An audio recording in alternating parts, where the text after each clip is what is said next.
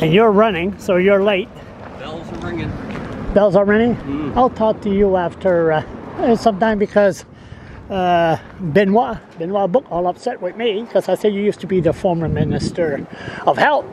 And I said uh, you used to uh, force prisoners to walk home when the Liberal Party was in power.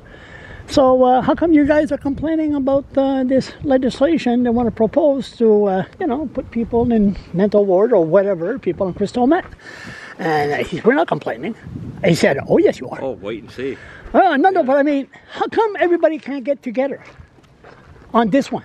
Well, I mean, you get two options. You you let people die on the streets, or you do something to help them. Even him, even even him also, he, he complained about it. There'll be lots of discussion. See, Benoit Bourque, you got to talk to him. See, he got to say there needs to need something done. We have people on the street that's harming people.